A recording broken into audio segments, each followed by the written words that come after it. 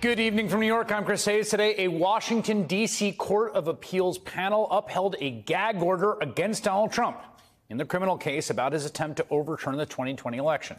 The three judge panel narrowed the original order from District Court Judge Tanya Chutkan somewhat, ruling that special counsel Jack Smith, originally included in that order, is now fair game. But, crucially, the judges barred the ex president from talking publicly about Smith's staff, court staff, or other lawyers on the case. He is also prohibited from making, and I quote here, public statements about known or reasonably foreseeable witnesses concerning their potential participation in the investigation or in this criminal proceeding. So, as of this ruling, Donald Trump is legally restricted from attacking any of the potential witnesses against him in the coup trial. This is a big ruling with big implications. We're going to talk all about that shortly. But one of those witnesses could very well be this man, Kenneth Chesebro unindicted co conspirator number five in Jack Smith's federal indictment of Donald Trump.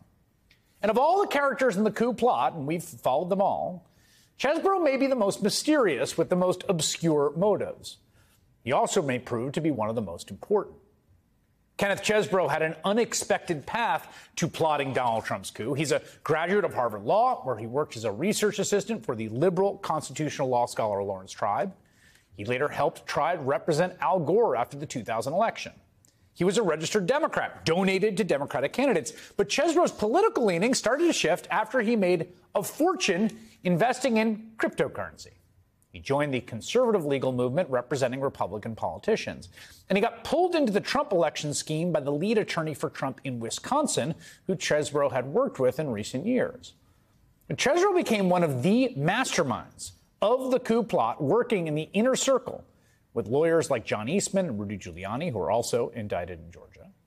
He devised what became known as the fake electors plot, as the January 6th committee explained last summer.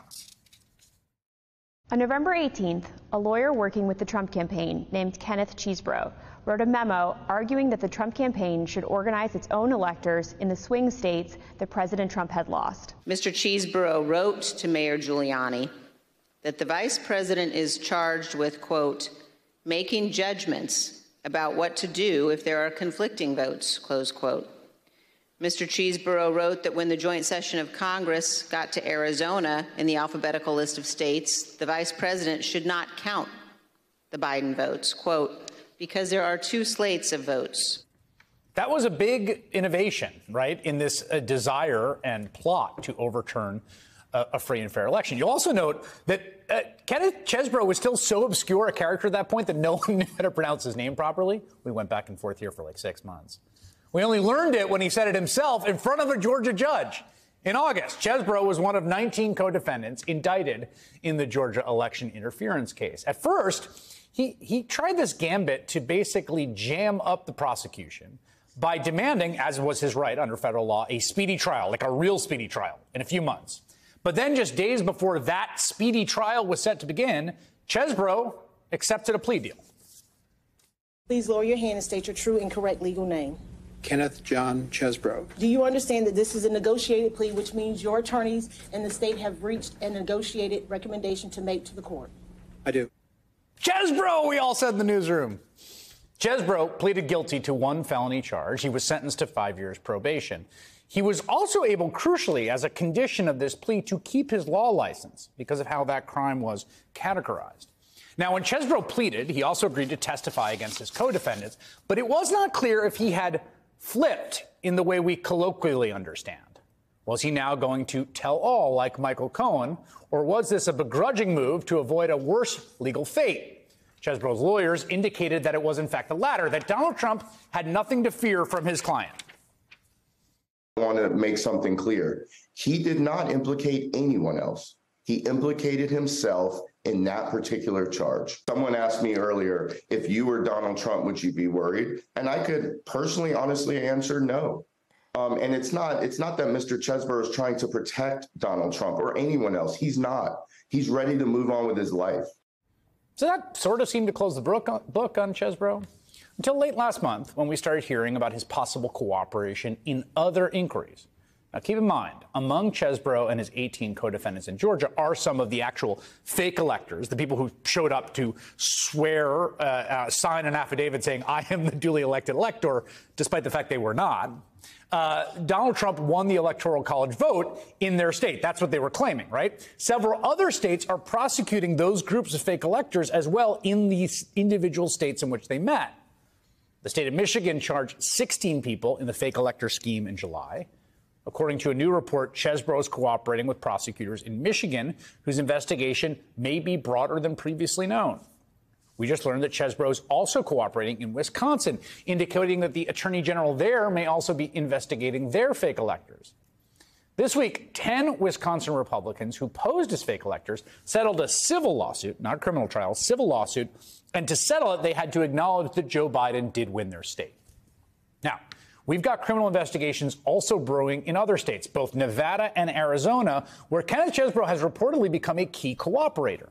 In fact, he testified before a grand jury in Nevada, where six fake electors, including the state Republican Party chair, were indicted this week. And the Washington Post reports that Chesebro is scheduled to meet with investigators in Arizona on Monday. So, all this really makes you wonder whether Chesebro actually has flipped in some meaningful sense and what that could mean for Donald Trump, who remains in serious legal peril. Kristy Greenberg served as a federal prosecutor in the Southern District of New York, where she was deputy chief of the criminal division. Jeffrey Toobin is an attorney and legal analyst who studied with Chesebro at Harvard Law School in the 1980s. And I'll start with you, Jeffrey, because of all the characters here, I feel like I got a good beat on John Eastman. I sort I know Rudy Giuliani has been the public eye for a very long time. Chesebro remains the most mysterious. The only person I've ever seen write anything on like, what's the deal with Kenneth Chesebro is you. Right. What's the deal with it? Um, the correct pronunciation is the cheese, because that's how he was known uh, in law school. Is that true? it, it is, yes. Uh, he's from Wisconsin, so yeah, there's kind of a right. cheese thing going on there. Um, it's a very weird story. I mean, Ken, whom I did know, uh, pretty well in law school. Not hadn't had a lot of context since then. I then wrote about him for Airmail. He is a very low key person. He is not someone who seeks a lot of attention. He has been an individual appellate lawyer, never with a full law firm in all the years since we graduated from law school. But he did go through what seems to be a very consequential midlife crisis uh, a few years ago. He got he got divorced from his longtime wife part of a midlife crisis. He cha- he started investing in crypto, made a fortune, tried to get Larry Tribe, his mentor, to invest in crypto as well. And most significantly, as far as we're concerned here, went from being a pretty serious Democrat. He worked with a lot of plaintiffs' lawyers who tend to be yep. Democrats to being a right wing activist, big contributor to uh, Ron Johnson, the, the senator from yep. Wisconsin, to President Trump, and now um, a, a, major figure in in this um, the sham electors. It's bizarre. Can I give you the inside story no, no, of why I don't? But, but that's I can more than most people. happened. Yeah. I mean, it's the classic divorce to crypto to coup yes. trajectory that you see so you often. Know, it happens. in midlife crisis.